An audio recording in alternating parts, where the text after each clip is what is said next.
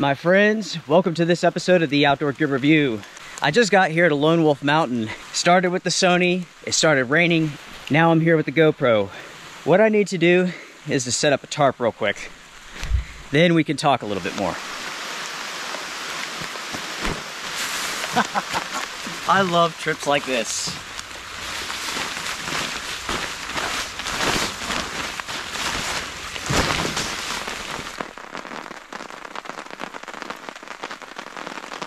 All right, everyone.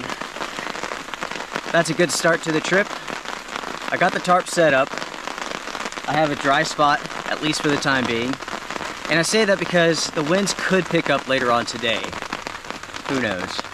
Here in the mountains, anything is possible.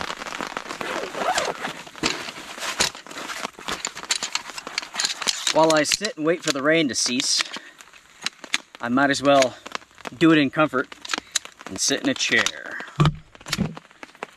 The weather for this trip is going to be a mess. It's going to be wet, it's going to be damp, just the way I like it, you know what I mean?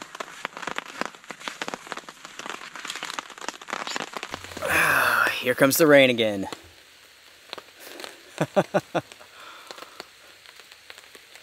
I came out for this trip thinking that it was going to rain later on this afternoon. But as you all can see, it is on and it feels good. It's cooling things down. Right now the temperature is around 61 degrees, which is very comfortable. My plan is to go ahead and set up my tent to begin with, and I'll do that underneath this tarp. I have the dry space, why not use it? That's a benefit to carrying a tarp with you. Here in the United States, at least, most tents do not feature a fly first design, so you have to set them up basically in dry conditions, otherwise you'll get water on the inside of the tent. The tent that I'm using for this trip is from Naturehike. This is the Bear Ultralight 2 tent. This is very, very interesting. And you will see why in just a minute.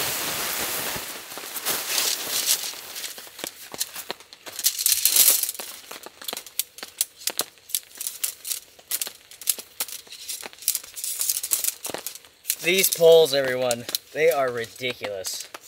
They are so incredibly long. With this tent, it does feature a fly first pitch, but I couldn't remember if I shut the doors or not, and it doesn't look like I did. So if I got it out in the rain, the inside would have gotten wet.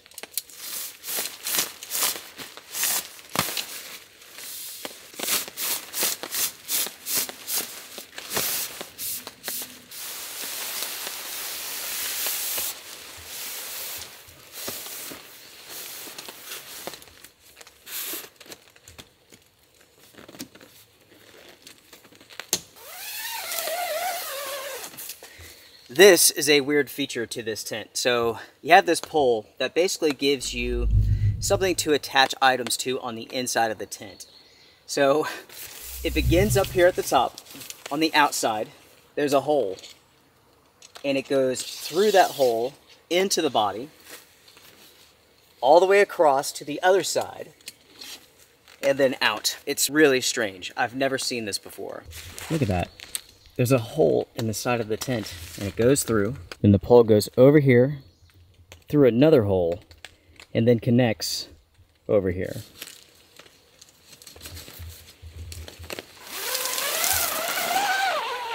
In addition to testing out this tent, I also have a new sleeping pad. This one's from Teton Sports.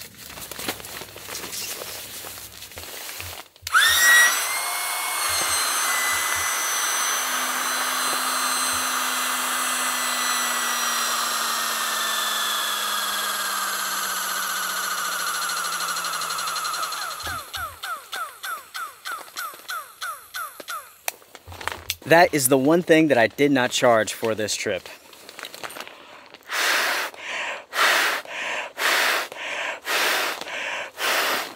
I am now sealing up the fly, which is on the inside of the tent.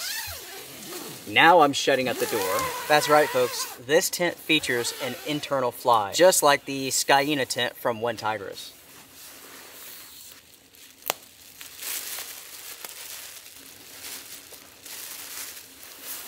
I just looked at the radar and it looks like there's more rain on the way, so I'm going to go ahead and get my bed all set up. I do have a full gear list in the description box down below if there's something that you're interested in.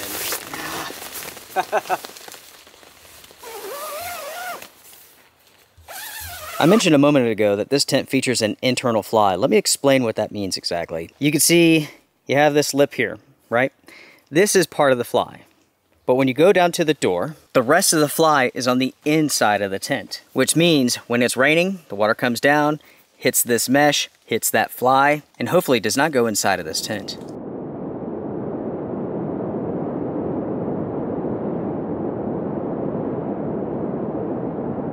I want to show you all something rather interesting. Once I show this to you, I'm only going to talk about it for just a minute because I want to talk about it in more detail later on. But I was coming down here to take a look at the sky when I found this. What is so interesting about this is that this is the second black snake that I've seen today. I saw a slightly larger one earlier before. Now that's a black racer, and again, I'll talk about these snakes in more detail in just a minute. First, there's something that I want to do. I have a nice flat location right here for my chair, but I need something for my table. And I think this is going to work just fine. But what I need to do is level this out because this is rather steep. We are on the side of a hill here.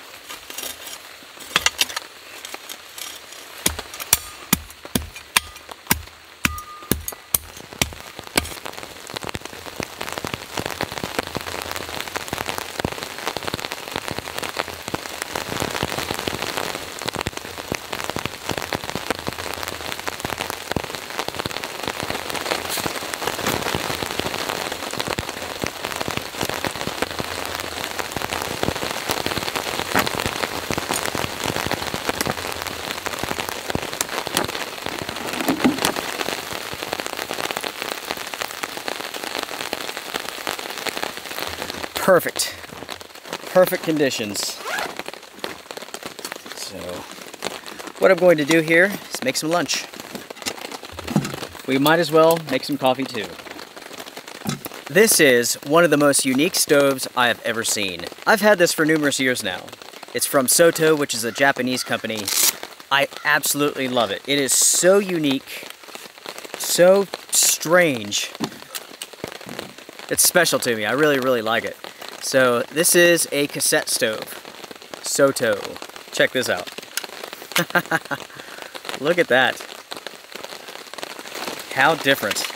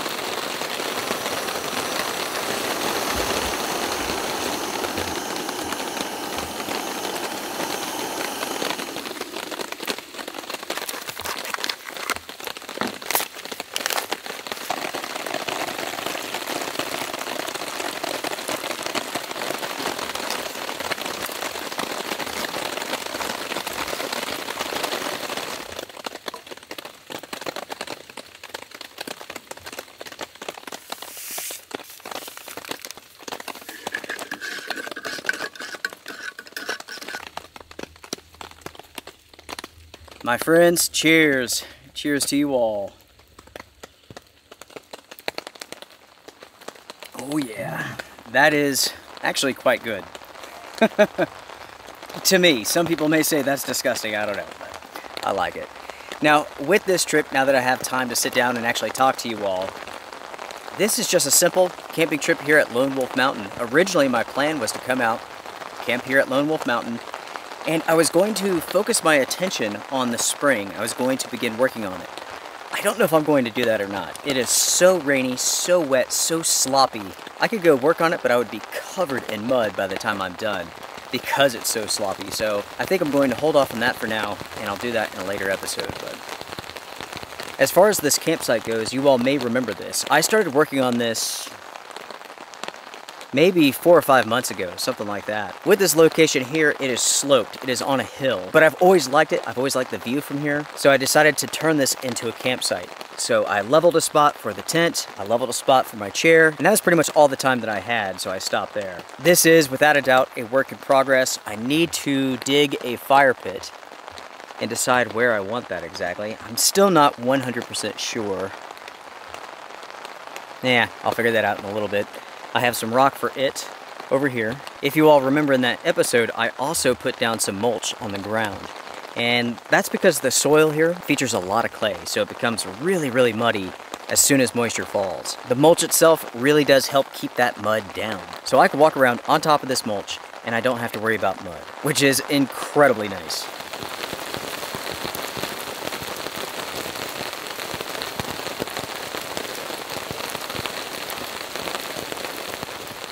While I have my lunch, I figured I would go over some of the questions, some of the comments that I've seen in the videos, namely in regards to the setting up of this campsite and also some recent adventures. Because the channel's so big and there's so many comments, I can't go through them all and answer them. So when I see a, a theme, I will address them in videos. So, so to start off, when it comes to this campsite here that I built, again, it's on a slope. I noticed that some viewers stated that I should have built basically a retaining wall for the camp pad, for the tent pad. In that episode, I mentioned something very important. I stated that the soil here has a very high clay content. There's a lot of clay in it. It's because of the high clay content in this soil that I did not need to do that. Let me show you all what I'm talking about. This is where people were saying that I needed a retaining wall. But as you can see, check that out. This has not moved since I leveled this out. And that's because of the clay in the soil. I don't want to get too geeky about this, so I will keep it simple. When it comes to soil, it's composed of three different elements. Sand, silt, and clay. It's the percentage of each component that determines the overall texture of the soil and also the water holding capacity. Now, just in case you don't know this, the water holding capacity of the soil is this. Basically, it's, it's the soil's ability to physically hold water against the forces of gravity. The easiest way to explain this is this. Take sand for an example. Sand gives up the water between the pores much easier than silt or clay. And because of that, sand could be easily washed away. When you have clay, that's not the case. Clay has the ability to physically hold water molecules much more tightly. And because of that, clay does not wash away to the same extent. Again, I did all of this maybe three, four, five months ago, and it hasn't moved at all. Another series of comments that I saw, which I thought I would mention, or address was the mulch. For some reason, people thought that was going to attract ticks. First off, you should assume that ticks are going to be around no matter what, so make sure to treat your clothing and your skin properly. With that being said, this mulch is a combination of pine and cedar. Now here's something interesting. Cedar oil, which comes from cedar bark, will kill ticks. It liquefies their body fat and causes them to die of dehydration. So you will not find ticks on cedar bark. That's another reason why I put this down. But again, everyone, that really doesn't matter. Even if you do something like this yourself for your own campsite, you should go ahead and plan for there to be ticks around you, for there to be ticks present. So treat your clothing, your shoes, your socks, and even your gear if you want. It's always better to be safe than sorry. Next, my friends, in a previous episode, I came across a black racer snake and I shared that with you all. There was only one comment on this, but I thought I would share this information with you all just so you can know the difference. That individual stated that the snake I saw was a blue racer, not a black racer. That individual was wrong and here's why. Blue racers and black racers, they are different snakes completely. And when you know the difference between the two, you're not going to confuse them. As you all can see, there are differences between the two. First off, when it comes to black racers, black racers are completely black, and they have smooth and glossy scales. Blue racers are bluish, greenish, gray, and even sometimes brown in color. The color of their scales is very flat, not shiny at all. And here's one of the most important things. There aren't blue racers here. Blue racers are generally found in the center of the United States, not in the east. In the east, we have black racers. Another difference between the snakes is that black racers are quite a bit bigger than blue racers. I think the record for a blue racer is like six foot, where like the record for a black racer is around eight, maybe even nine feet. Black racers can be huge, huge snakes, and that one that we saw was gigantic. Talking about snakes, as soon as I got here at Lone Wolf Mountain, I came across one in the road. So that was further down on the mountain. I stopped the truck, got the camera, filmed him just a little bit. That is a cool snake. Fast forward a few hours, it just got done raining. I went down to the truck to get something, and what do you know? There's another black snake, a different one. The one I saw down there, I think was around four feet. This guy was around four and a half feet, five feet. He was pretty long. It really does make me happy to see these snakes because black snakes, black racers, they are terrific. They're very good snakes to have on your property. And I've mentioned this before, so I won't go into it again, but they're good to have. By the way, for lunch, we have a real Turmat meal. This is reindeer stew, and it is fantastic.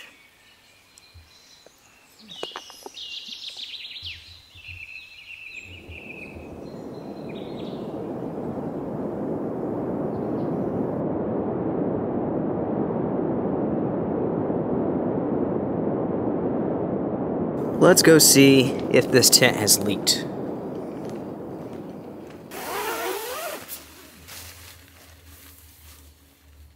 So far, so good, folks. No leaking from this tent. So far, everyone, there's been no leaking from the Naturehike Bear tent, and I really didn't expect it to leak. Naturehike knows how to make waterproof tents. My biggest question is, how bad is the condensation going to be? Because this is a single wall tent and yeah, condensation is going to be a factor with this. Tonight we'll see just how well it goes or how bad.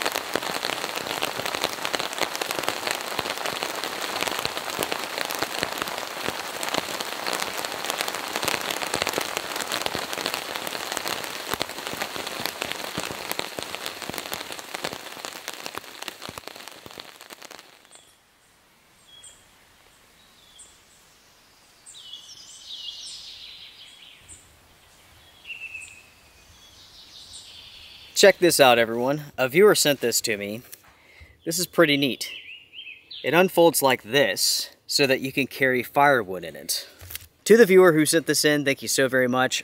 Your name escapes me at the moment, but I will flash it on the screen. Thanks, buddy. The sun has popped out for a second here. I think I'm going to use this time to gather some firewood.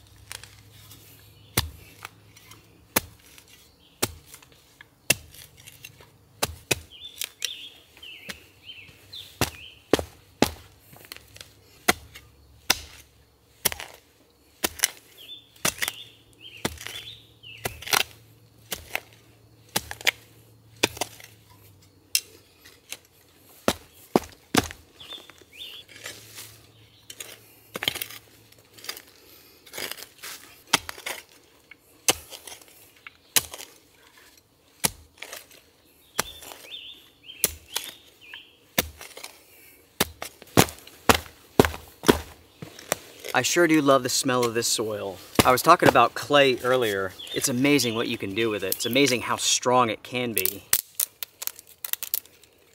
As far as this material goes, it's damp.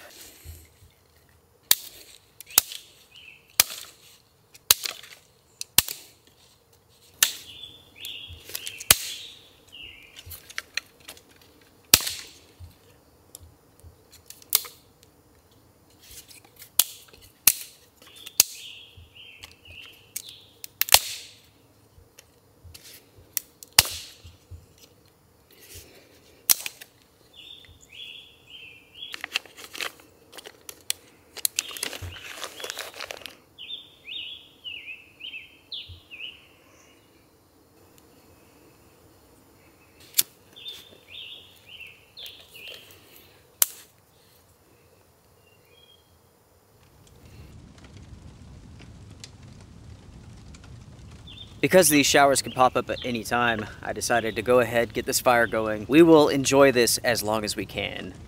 We still have a little bit more than an hour of light left before it's dark. As far as the day goes, for you all, it's only been raining a few minutes, but for myself, it has been raining all day. But I tell you what, that's okay because I've had a great time. I've been chilling underneath this OneTigris tarp, having a good time. There's nothing like it. There's nothing like just being underneath the tarp, listening to the rain, it's really, really nice. Really, really nice. And now we have the fire going. Here in a minute, I'll make dinner. As far as dinner goes, let's see, what do we got? We have another real Turmat meal. This one is pulled pork with rice. This stuff is so good. It's so good. Let's don't wait. Let's go ahead and make it.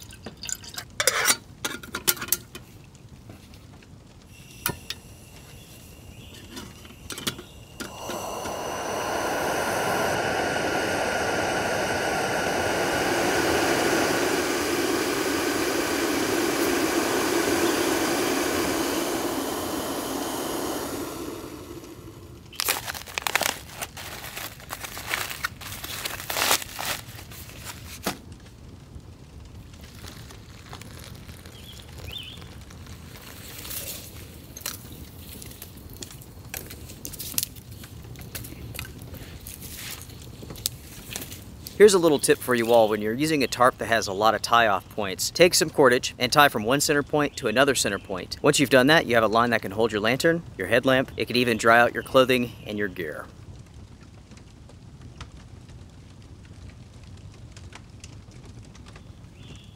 The other day, folks, I was at my friend's house, my neighbor, and he was showing me his latest like exercise machine. I have to say, it was probably one of the coolest pieces of equipment I've ever seen in my entire life. It is truly an advancement in technology. Based upon how cool it was, I'm sure the thing cost a fortune.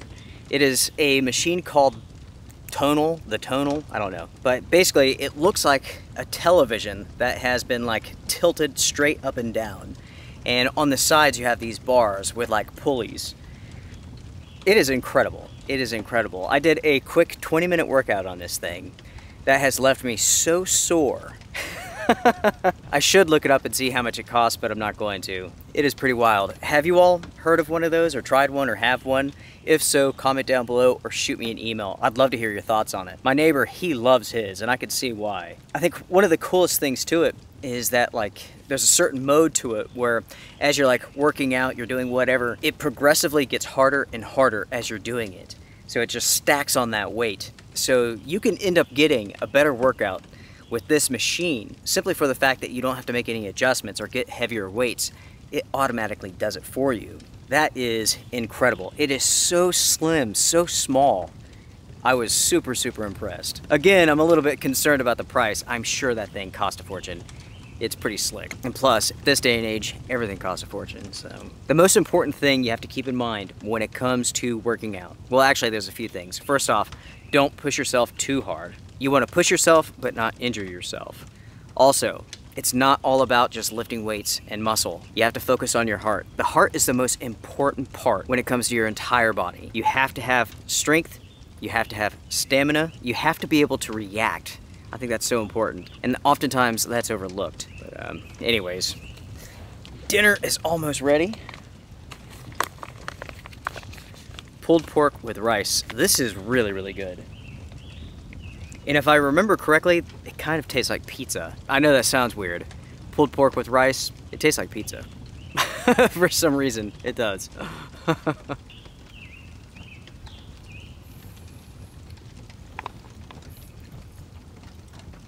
it's not like it tastes like a pizza, I guess, like full-fledged pizza, but like there's something about the sauce that's very pizza-esque. No matter what, it is really good though. With the fire here, as you saw before, I dug a small hole. That way all of the embers and the coals will form in the bottom. It's a great way of gathering a source of heat. And let me tell you, it is hot. It is super, super hot. Even though the fire itself is rather small. The heat is rising, it's reflecting off of this tarp. I'm toasty hot.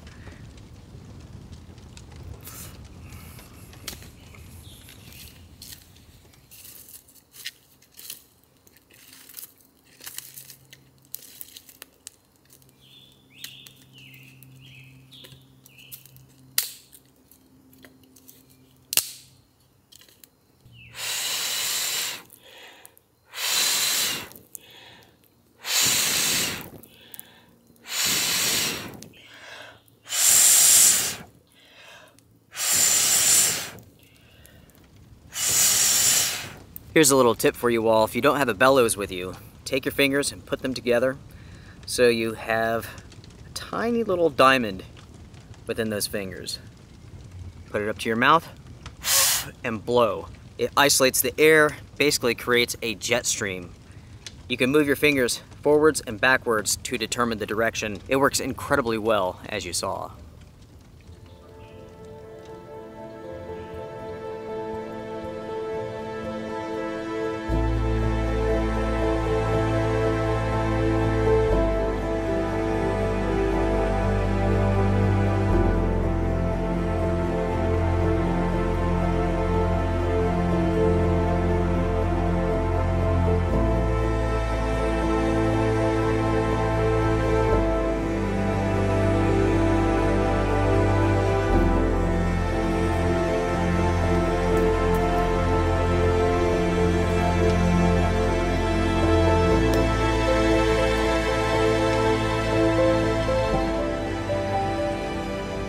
That's the last of the firewood.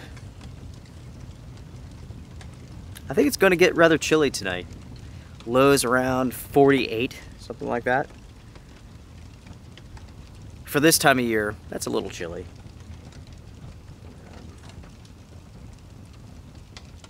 Yeah, it's almost 9 o'clock. And let's see if I can check on the radar. Looks like rain is on the way.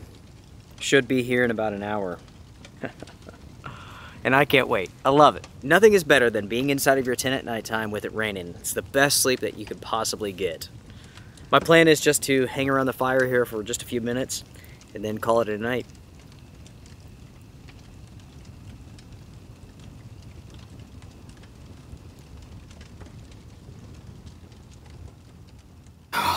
okay. So I just got inside of the tent here and I was opening it up and I, I see a problem. I see a problem. This door has had time to dry. The wind's been coming this direction, drying the door off. The problem is this door, this side is completely wet. It's so wet, in fact, that I can't open it up, not without getting water inside of the tent. So that's, that's interesting. That greatly limits the airflow coming into this tent. I can open a small part of the top, and that'd work but I certainly can't open the whole thing. It is amazing how big this tent is though. I will give it that. I think for wet weather conditions, this is not the best choice. But for drier situations, absolutely. There is a ton of space inside of this. It is waterproof, at least with my testing. With the rain that's fallen so far, it's been moderate and consistent. I mean, it's rained for hours and hours, and this tent has not leaked. Since the night is so young, what I'm going to do is watch a movie, one of my favorite movies, Open Range with Kevin Costner. That is an excellent movie. If you haven't seen it, I highly recommend it. If you have seen it, comment down below, share your thoughts. What'd you think about it? Oh, good night for now. Oh, man. Oh,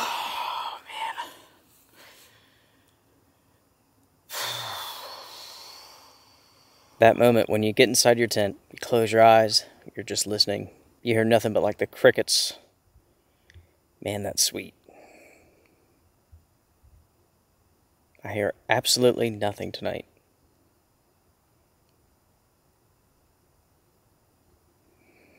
That's pretty nice.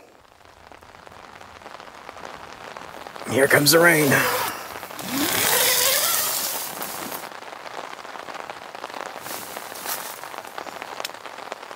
I'll see you guys in the morning. Night for now.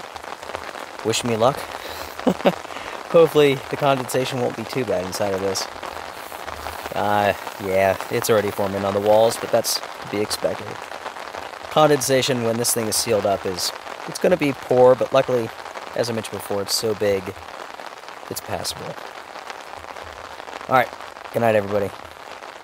See you soon.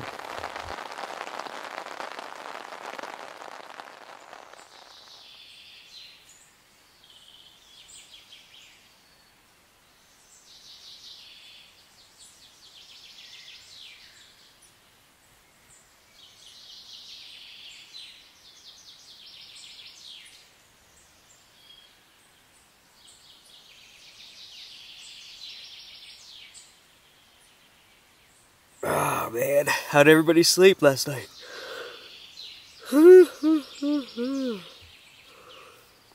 oh god. Did I get you? oh man. I slept pretty good. But it took a while for me to go to sleep.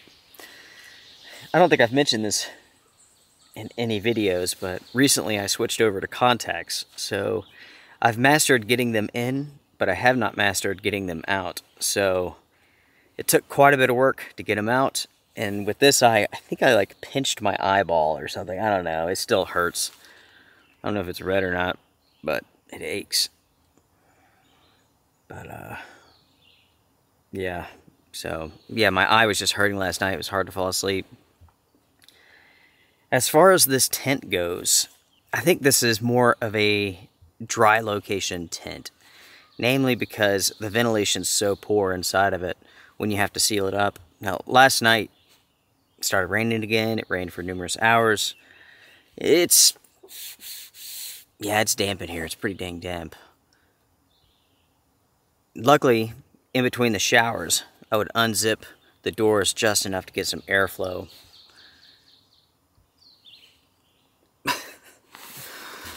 The hanging pole inside of this tent is really strange. The fact that it goes through one side and then out the other, there's literal holes in this tent. Because of that, this tent is not 100% bug proof. Ants and stuff could get through those holes. Maybe small spiders too. But that being said though, this tent is waterproof. It did not leak at all. So good job on that front, Naturehike. Very, very interesting design to this tent. It's definitely different. It is huge, there's no doubt about it. I would say the only real con is that it's somewhat difficult to set up. The poles themselves crisscross and it's very easy to get them mixed up. It would have been nice if the company would have color coded like the sleeves with the poles to the clips because oftentimes you'll get them backwards and it does not set up right. And it's one of those things where you're not going to notice the mistake until you basically have it set up.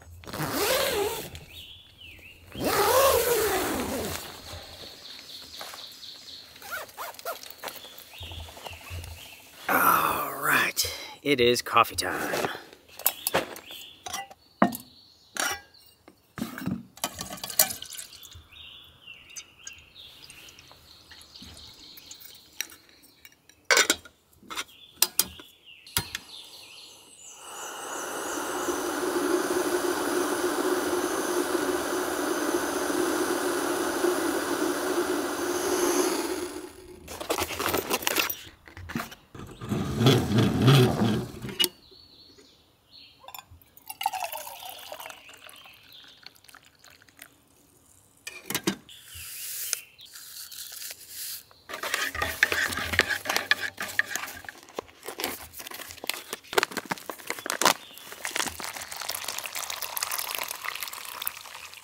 Good morning, everyone. Good morning. The day doesn't officially start until you have coffee in hand. Cheers. That is really good. Really good. The perfect combination. I'm an expert, trust me. What we have here is some French cafe from South Korea. We have some Funky Folgers, which puts hair everywhere. And we have some Folgers Noir coffee. Golden Dusk. Sounds good. Yeah, actually it is good. it's a really good combo. Let's check the radar real quick. Right before I got up, it was raining. I want to see what exactly is going to take place today. Ultimately, what the weather's going to do does not impact what I'm going to do. I have a plan already. What it shows here is basically a 90% chance of showers and thunderstorms starting around noon. Now, what I'm doing today is rather important. I need to go home because I'm having a party. Not for myself, but for Lucas, our son. He is leaving the house. Come next week, he is gone. He's off to college. Life is about to change. I mean, the kids are completely gone. It's just Susie and I. What are we going to do? What are we going to do? I don't know. I can't wait. Let's go ahead and give breakfast a shot. We have a real Turmat chocolate muesli, which is like oatmeal sort of thing. I added a ton of water, so I can actually just drink this from the bag.